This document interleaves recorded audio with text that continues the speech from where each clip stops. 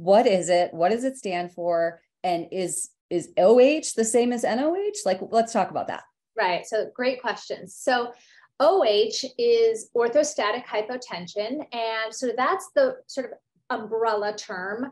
Um, orthostatic hypotension is a change in blood pressure with posture. So going from laying down to standing up. And there's a drop in the systolic blood pressure of 20 millimeters of mercury or 10 millimeters of um, systolic, I'm sorry, diastolic blood pressure. So either 20 of the systolic, the upper number, or 10 of the bottom number with change in position. So that's orthostatic hypotension.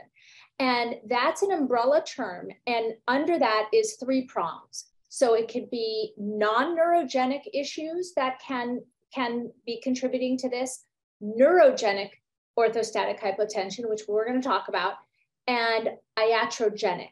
So the non-neurogenic issues can be due to dehydration, um, cardiac problems. The iatrogenic can be things like medications. So people that are taking blood pressure medications or other medications, such as some of our, our PD medications or antipsychotic medications or antidepressants, sometimes those can decrease blood pressure. Neurogenic orthostatic hypotension is a drop in blood pressure upon standing or sitting up of 20 millimeters of mercury on the top number or 10 of the bottom in a person who has a neurologic condition, certain neurological conditions like Parkinson's disease, MSA, Lewy body dementia, that type of thing.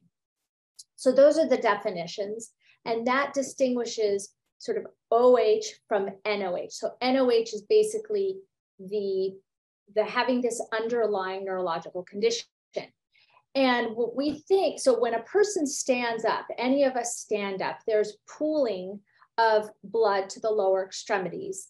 And we have these this um, neurotransmitters that come out and they help to, to vasoconstrict our lower extremity veins and arteries that help the blood pool upwards and that gets blood pumping to the to the heart and then to our brains and it gets all the blood flowing.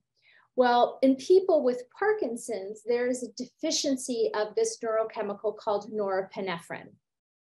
And so in neurogenic orthostatic hypotension there is this deficiency in norepinephrine. So when a person stands up they don't have that neurotransmitter or enough of it to constrict those uh, the veins and the arteries in the lower extremities. So when they stand up, the blood pools, but they can't constrict those vessels. Therefore, they can't get enough um, blood to the to the heart, and they can't get enough blood circulating to the brain, and they get the symptoms.